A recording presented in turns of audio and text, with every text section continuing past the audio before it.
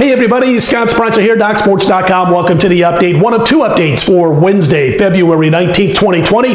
College basketball ACC action coming up on this report. First, quick note if you've yet to become a member over at DocSports.com, just want to give it a trial run. Click on the link below the video, get yourself set up for a free 60 bucks. Use those free 60 bucks on any of my daily packages or anybody else on the DocSports.com roster. Again, you get it all started by clicking on the link below the video. All right, listen, uh, you ask and you receive. We've had a handful of people who've asked us over the last couple of weeks about maybe posting these videos a little bit early. And here's the response. We can do this from time to time, and we will. When I have time uh, to, in the afternoon, the day before games, to handicap that next day's card, I'm going to post videos early, and that's what we're doing here. So, what we'll be doing, by the way, when we do do this, is we will have results from that night's card available the following day. So, for instance, you know, my games are just getting underway as I cut this video on, on Tuesday. I'll have your results for you. We'll talk about them on Thursday's video. Uh, but we'll tend to do this. We'll try to do this at least a couple of days a week where we get videos out there a lot earlier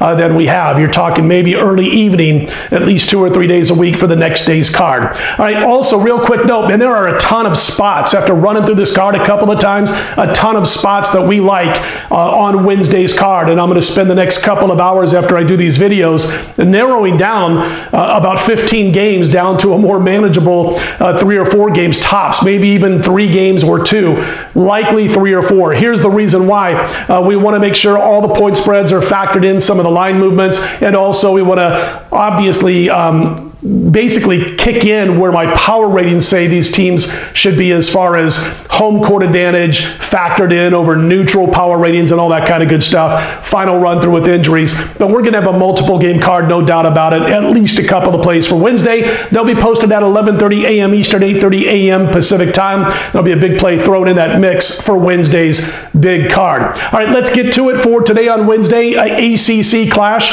uh, between Syracuse and Louisville as Louisville returns home. Uh, Louisville lay a nine. Now, again, my power rating say Louisville's a 9.5 point favorite over Syracuse on a neutral court. So right away, we got home court advantage factored in, and we get a little bit of value here on the homestanding Cardinals. They've lost two in a row. That puts them in a great college basketball nationwide spot where these teams who have lost two straight, straight up games as chalk are now 117 and 69 against the spread. That's the current run, and that's the spot that Louisville's in. Uh, they come into this off those two losses. They were favored in both. They lose both outright, puts them in this great spot. Uh, they are also very strong when it comes to adjusted offensive efficiency. Outstanding offensive work done as far as in general. Now, maybe not the last two games, but in general speaking, generally speaking, uh, for the course of the season.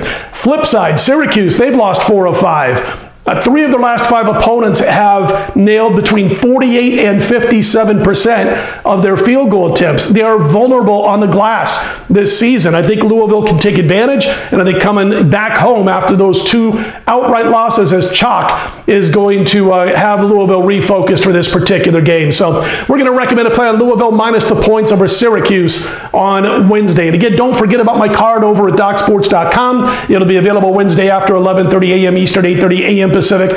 Ton of great spots. We'll be in action at least two or three games. We got a big play going on Wednesday, so be sure to check that out on a Wednesday over at DocSports.com. One more day of NBA All Star break, and uh, again, we'll be back in action either Thursday or Friday. They get back underway on Thursday, and we'll let you know on Thursday's video if we're in NBA action at that time. All right, Syracuse, excuse me, Louisville minus the points, the free play. If you like these videos, click on that thumbs up button. Be sure to subscribe. Go check out my other free pick video for Wednesday uh, before you call it a day. I'm Scott Spreitzer, DocSports.com. Let's put Wednesday in the win column.